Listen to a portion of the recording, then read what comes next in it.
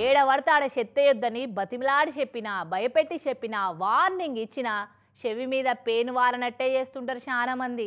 వద్దన పని అద్దుక తిన్నట్టు ఏడ చెత్తేయొద్దని బోర్డు పెడితే అలా ఆడనే వేస్తుంటారు.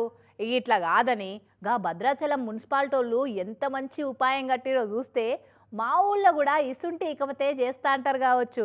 మున్సిపల్ గ్రామ పంచాయతీ అధికారులు లీడర్లంతా. చూడరి ఇంతకు ఏం చేసిరో భద్రాచలం రాములవారి గుడి అంటే ఎంత ఫేమస్? ఏం కథ? కానీ పేరు గొప్ప ఊరు దిబ్బ అన్నట్టు అంతారామమయం అన్నట్టు ఉండవలసిన భద్రాచలంలో ఊరంతా చెత్తమయం అన్నట్టే కంపు కొడుతుందట. ఏడవాడితే ఆడ చెత్త వేయొద్దు తడి చెత్త పొడి చెత్త వేరు వేరు చేసి చెత్త ఆటోళ్ళకి ఇయ్యాలి లేకుంటే జుర్మానా ఎత్తామని మైకులలో అనౌన్స్మెంట్ చేపించిన ఎవ్వలు పట్టించుకుంటలేరట ఊళ్ళే. వద్దన్న కాడ కావాలని ఇంకింత ఎక్కువనే చెత్త ఎత్తున్నారట అలాయించి. ఒర్రి ఒర్రి ఒకడు వాయ వండక తిని ఇంకోడు వాయ అన్నట్టు ఉందట కథ. ఇక ఇట్ట కాదని ఇక ఈ ఫ్లెక్సీలు కట్టి ఊరంతా.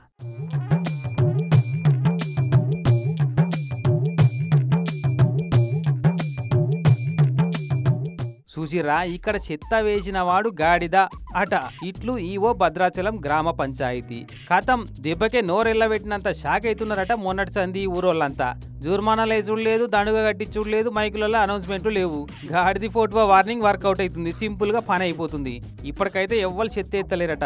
కానీ మీ ఊరి సమస్య కోసం మా గాడిదలను అండర్ ఎస్టిమేట్ చేసి ఇన్సల్ట్ చేస్తారా? అని ఈ ఫ్లెక్సీలు చూస్తే ఎంత బాధపడతాయో గాడిదలు.